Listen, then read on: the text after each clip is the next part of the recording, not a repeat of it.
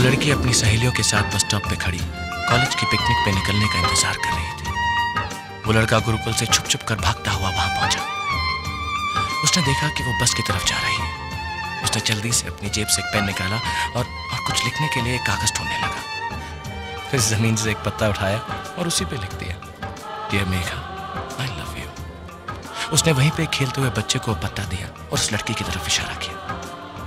लड़की बस के अंदर जा ही रही थी कि वो बच्चा भागता हुआ उसके पास पहुँच गया। तभी लड़के के सामने से आर्मी के ट्रक्स का कारवा शुरू हो गया और कुछ देर तक वो लड़की को देख नहीं पाया।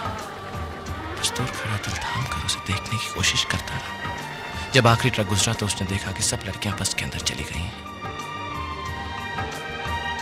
उसने मुड़कर देखा तो वो बच्चा हाथ में वही पत्ता लिए खड़ा था। उस पत्ते की दूसरी तरफ़ कुछ लिखा था। तुमसे सुनने के लिए मैंने कब से इंतज़ार किया मेघा। पर तब तक बस चल पड़ी थी। वो पागलों की तरह बस की तरफ़ भागा, पर बस निकल चुकी थी। बीच रास्ते रखे उसने जब मुड़कर